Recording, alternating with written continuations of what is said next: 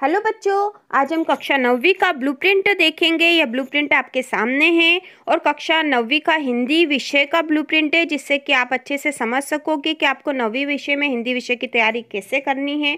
ठीक है, कक्षा नौवीं की हिंदी विषय की तैयारी कैसे करनी है? और यदि आपको ब्लू प्रिंट समझ में नहीं आ रहा है तो हमने आगे पुस्तक में भी बता रखा है कि कौन कौन से पार्ट आपके एग्ज़ाम में आएँगे और आपको व्याकरण से संबंधित कौन कौन सी तैयारी करनी है, इससे संबंधित सारी जानकारी इस वीडियो में है। और इसी तरह के और वीडियो देखने के लिए चैनल को सब्सक्राइब कीजिए और यहाँ पर आपका, जो कक्षा नौवीं का हिंदी विषय का जो कम किया गया पाठ्यक्रम भी दे रखा है, जिससे कि आप अच्छे से समझ सकोगे कि आपको नौवीं में कौन कौन सी तैयारी कौन कौन से पाठ तैयार करने हैं, व्याकरण क्या क्या तैयार करनी है तो आगे सारा कुछ हमने समझा भी रखा है। और आपके नौवीं विषय में जो कि कृतिका और क्षितिज में से कितना कोर्स आएगा, यह भी हमने आगे बता रखा है, आप इसे अच्छे से समझ सकोगे जो ब्लूप्रिंट देखने के बाद हम देख लेते हैं कि आपकी पुस्तक में से कौन कौन से पार्ट कम किए गए हैं ताकि आपको अच्छे से समझ में आ जाए कि आपके सिलेबस में कौन कौन से पार्ट आने वाले हैं। तो यह क्षितिज की पुस्तक है और इसमें से जो पार्ट कम किए गए हैं ब्लूप्रिंट के अनुसार इसमें से जो पार्ट कम किए गए हैं वो है पाठ तीन उपभोक्तावाद की संस्कृति, पाठ पाँच, चपला देवी, नाना साहब की पुत्री देवी मैना को भस्म कर दिया गया, यह पाठ भी कम कर दिया गया है। उसके बाद है पाठ सात, मेरे बचपन के दिन, और पाठ आठ, हजारी प्रसाद द्विवेदी का एक कुत्ता और एक मैना, ये पाठ जो चार पाठ है, यह गद्य खंड के क्षितिज पुस्तक में से ये चारों कम कर दिए गए हैं। उसी प्रकार काव्य खंड में से भी चार पाठ कम किए गए हैं। पाठ तेरह ग्रामश्री, पाठ चौदह चंद्र गहना से लोटती बेर पाठ पंद्रह सर्वेश्वर दयाल सक्सेना की कविता मेघ आए और पाठ सोलह जो है यमराज की दिशा चार पाठ काव्य खंड से कम कर दिए गए हैं। ठीक है तो इस प्रकार आपका जो सिलेबस है, कक्षा नवी का सिलेबस बहुत कम हो गया है।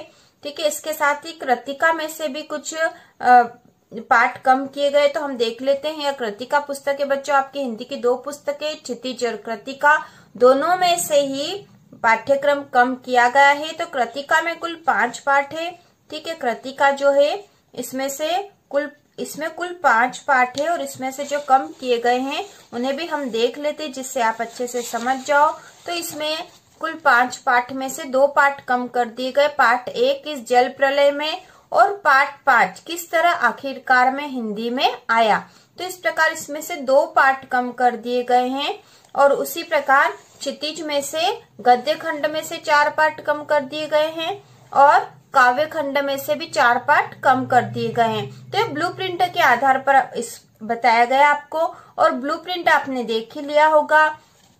ब्लूप्रिंट में आपके व्याकरण भी है, ठीक है?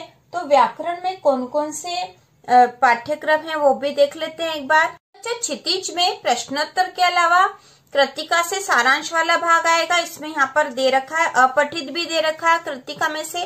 तो हमने यहाँ पे से कुछ मुख्य मुख्य बिंदु ब्लूप्रिंट के आधार पर नोट किए हैं, उसे हम देख लेते हैं। तो ब्रिज कोर्स के पाठ्यक्रम से ब्लूप्रिंट में से ही है, उसमें से दे रखा है, तत्सम, तद्भव, मुहावरे और लोकोक्तिया।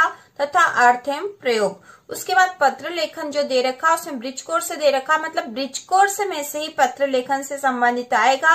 अर्धवार्षिक परीक्षा में भी यही आया था बच्चों। ब्रिज कोर्स में से ही पत्र लेखन आया था। उसके बाद अपठित दे रखा, उसमें कृतिका दे रखा मतलब कृतिका में से ही अपठित वाला गद्यांश आने वाला है।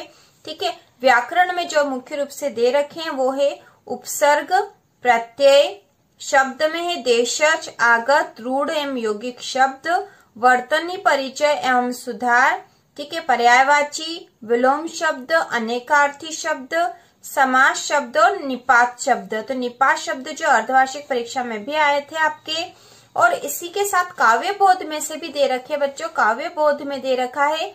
काव्य की परिभाषा और भेद, मुक्तक काव्य, प्रबंध काव्य, ठीक है? उसके साथ ही दे रखा रस की परिभाषा अंग, भेद, उदाहरण, अलंकार में है अनुप्रास यमक श्लेष उपमा, रूपक और उत्प्रेक्षा, और छंद दे रखे आपके परिभाषा, मात्रिक, वार्णिक छंद, दोहा और चौपाई। तो इस प्रकार ये काव्य बोध में से इतना भाग दे रखा आपके ब्लूप्रिंट के अनुसार। तो इस प्रकार हमने देख लिया है ब्लूप्रिंट के आधार पर आपका कोर्स व्याकरण में से क्या क्या आएगा, ठीक है, इसके साथ निबंध भी आएगा निबंध जो है सात नंबर का आएगा और तीन नंबर की रूपरेखा रहेगी। तो इस प्रकार हम कक्षा नौवीं के हिंदी विषय से संबंधित महत्वपूर्ण प्रश्नों के प्रश्नोत्तर बनाने वाले हैं।